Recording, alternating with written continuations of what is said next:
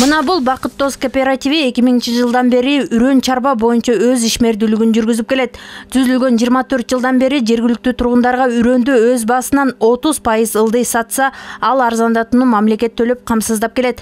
Мамлекеттин мындай колдоосун бердибек самудинов өлкөдөгү мыкты реформалардын болуп жатканынан кабар берет дейт. Азыркы учурда жүрүп аткан республикада болуп аткан иштерге карап абдан канааттануу менен кабыл алам атс деп коет территориальная реформа деп нарын обласы биринчилерден болуп пилотный болуп кирип ийгиликтүү ишке ашты ошонун жыйынтыгына карап республика боюнча бүгүнкү күнгө чейин иштеп атат жолдошбек алышүкүров эки миң он төртүнчү жылдан бери асыл тукум жылкыларды асырап багып келет. Башталган иштин башаты мамлекет тарабынан алгачкы төрт миллион сомго он пайыздык жеңилдетүү ал эми экинчи эки миллион сомго сегиз пайыздык арзандатуу менен насыя алган.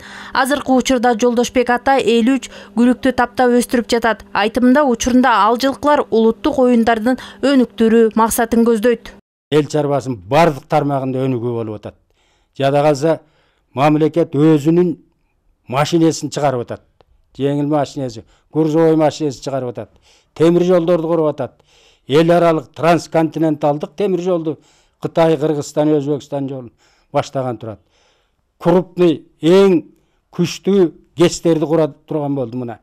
Чақан кестерді құрды далайлаған ем қамбар ата бірді мына құрып баштап мінекей іс әрекетін жасап жатады кайсыл гана тармакта болбосун жүк сүйрөгөн мыкты адистердин болушу өлкөнүн өнүгүшүнө салым кошуп келет. Эс алууга чыккан эмгек ардагерлери дагы мезгил агымына жараша коомдо болуп жаткан өзгөрүүлөргө баам салып кесиптештерине кеп кеңешин айтып аксакалдык акыл казнасынан бөлүшүп келишет. Наргиза жумадил кызы нурсултан болотбеков нарын жаңылыктары